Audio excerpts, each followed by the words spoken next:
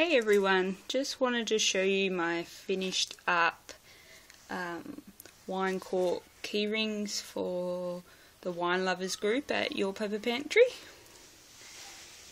So, you can see. Um, the challenge was to make keyrings out of a cork and so there and then the three charms. I'll show you one out of the packet. There's each one.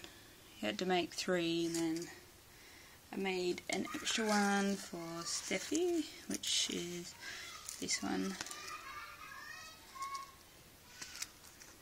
So there's it here. So I made these three little dangles in the blue to hang off the end.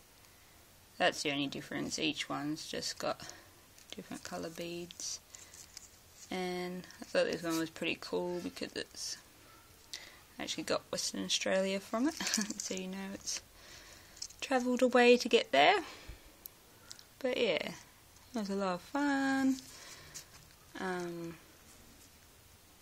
yeah, so I've packaged them up now and then I just wanted to show you I had a video of my um, uh, state of art stick pins which I've already showed you but I just wanted to show the packaging. So it's just I made these uh, the little charm on the front with the bottle cap and then um, Australia in the centre. I thought that turned out pretty cute.